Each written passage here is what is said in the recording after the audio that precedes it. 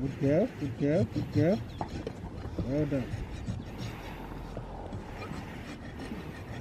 We work with um, animal rescue organizations from all over South Africa. Um, and whenever there's this, uh, a horse that needs a home or a horse that might even be termed a difficult horse uh, with behavioral problems, they'll send those horses to us.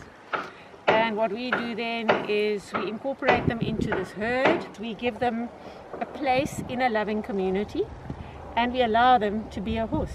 Uh, the lockdown has been quite hectic because uh, the way that we generate an income is we have a horse-drawn vintage carriage that operates between two um, wine farms here at the foot of the Tsitsikamma Mountains. Um, these horses are actually the ones who, who, who pull that carriage for our guests. And then we also do horse trails to wine farms, animal sanctuaries like Monkeyland, Birds of Eden. And, uh, oh, he wants to really come and have a look. um, so we rely on national and international tourism for funding, for income. And um, we've got no sponsorship or anything like that. We generate all the money that we need to look after our horses. And that on the 27th of March just stopped. Not one cent is coming to this business at all.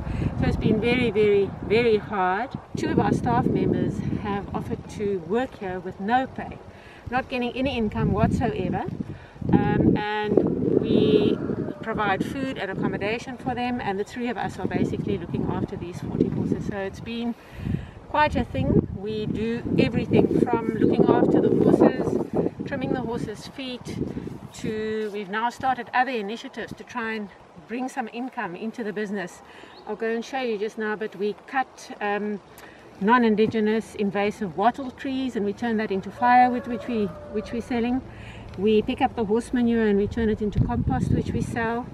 We've planted vegetable gardens um, which about in a month or six weeks time hopefully we'll be generating enough vegetables to feed us. But could sell to generate some more income. We've got some chickens so we've got some organic eggs that we're selling. Yeah and we're thinking, we're constantly thinking what else we can do to generate an income to, to make sure that we survive.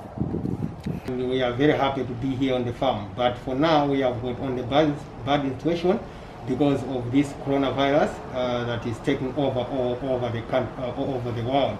But we're still here uh, looking for the farm and taking care for the animals, and we don't have any income that is coming in. But we still here that we're gonna still wait, waiting for that maybe the business gonna open again. But we started, but we still survived because Debbie is taking care for us and looking for everything here as a farm.